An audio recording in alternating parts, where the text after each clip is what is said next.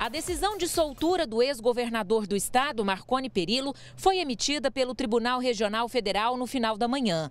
A oficial de justiça chegou com o um documento na sede da Polícia Federal às 4 horas da tarde. Abatido, mas estava bem. Em 20 minutos, ele saiu pelo portão do fundo nesse carro branco. Dependendo do, do, do, da, do que foi preparado para a questão da segurança da, da Polícia Federal, segurança orgânica, é, é comum. Sim, já aconteceu em outras ocasiões, inclusive vocês já filmaram gente saindo lá do fundo. A defesa de Marconi Perillo disse que a prisão foi uma prática abusiva e ilegal, além de afrontar outras decisões de liberdade de investigados na operação, como o Jaime Rincon. Marconi Perillo ficou detido aqui na sede da Polícia Federal por pouco mais de 24 horas.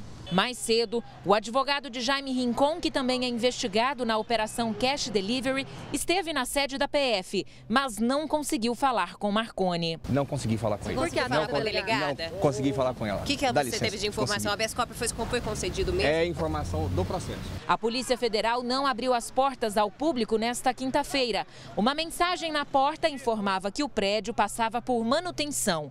Marconi foi preso na tarde de quarta-feira enquanto prestava depoimento, porque é suspeito de ter recebido doações irregulares de quase 13 milhões de reais da Odebrecht para a sua campanha eleitoral ao governo do estado de Goiás em 2010 e 2014.